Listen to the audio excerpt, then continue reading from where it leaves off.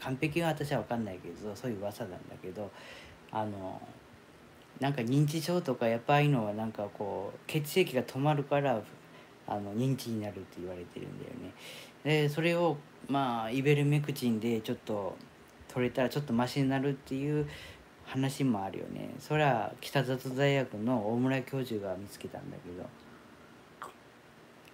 ただ日本の政府がねあの日本で作らせないようにしてあるわけだからインドから仕入れないといけない私インドから輸入したんだけどね。あのネットでしややったらね帰るんでその中2週間以上かかるけどね。イベルメクチン頼むのは。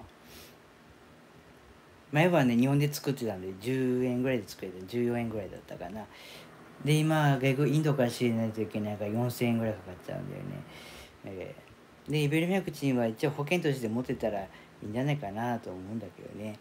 なんかは風邪ひいたなとかちょっとしんどいなとか。だかそういうの飲んでたらもしかしたらねあのその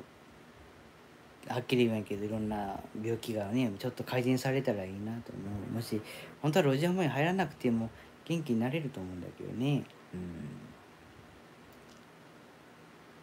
ん。ななんか老人ホーム入ると息吹けちゃう人もいるしね。うん。で活性酸素を除去するのも一つだけどまあ若い時からやっておけなきゃいけないけどな納豆はね毎週でもいいけどまあ週に1回とか2回でも食った方がいいよね。あの脳梗塞の抑制になる納豆はね納豆とか苦香り苦香りは発がんとかに抑制にもなるしあと体を温めるとがんはね消えるんだってはっきりは言えんけどあの光光で消すっていうやつでね本当はね本当は治せたんだけど治してこなかったんで今まではね。であのえっ、ー、と温度、えーと、お風呂で42度以上だったかな。温泉でも42度以上かな、まあ、そうするとそのできたものみたいながんみたいなやつが、ね、消えるらしいのよね。はっきり言うとね。まあこれから先は治療するというよりはそっちの方に変わってくるんだけど。あのまあこのこれから先はだんだん不老不死がちょっとずつ進んでくるんでねはっきり言うとね。なんか 3D プリンターで血管を作ってみたりえー、ちょっとこっちで凍結させてこうやってみたいそんな 3D プリンターが出てきたらねなんかそういうあの車も作れるけど体のねちょっとダメダメージを食らったとこもねなんか修理できるらしいのよね。あの 3D プリンターで血管を直したり臓器を作ったりとかね。まあそんな感じだね。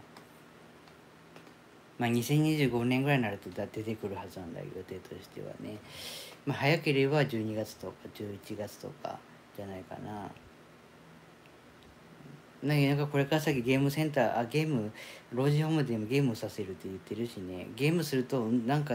あの脳の脳が脳にいらしいのよね結局。あの今までちょっと衰えたとこがちょっと戻ったりとかね。まあそういうのあるらしいんだよね。どっかリハビリするとこでもやっぱりゲーム使ってるよね。あの痛い痛いんだけどゲームするとその痛さ乗り越えられるって言ってゲームを使ってるとこあるよね。でこれから VR 使ってあの PTSD を治したりとかね、まあ、改善させたりとかそういうのは2025年ぐらいだと思うんだけど。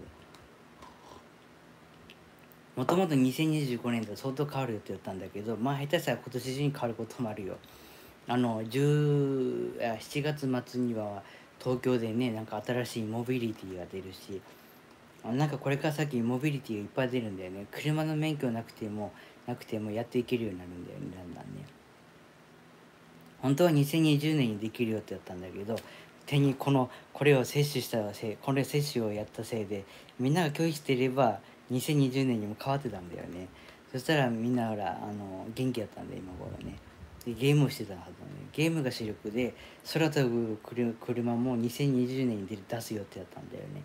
でそれをこれをこのこれを売ってしまったから4年も遅れちゃったんだよね。